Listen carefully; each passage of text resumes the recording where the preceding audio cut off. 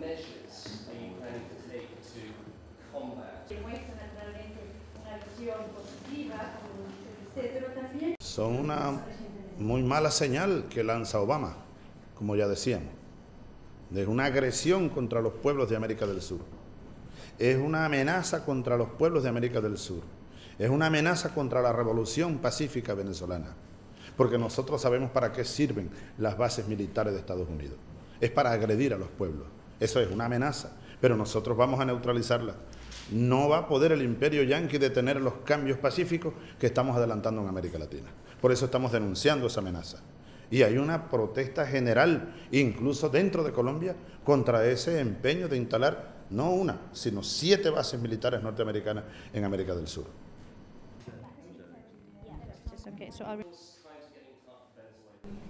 Gracias. Gracias, Antonio. Gracias, Antonio.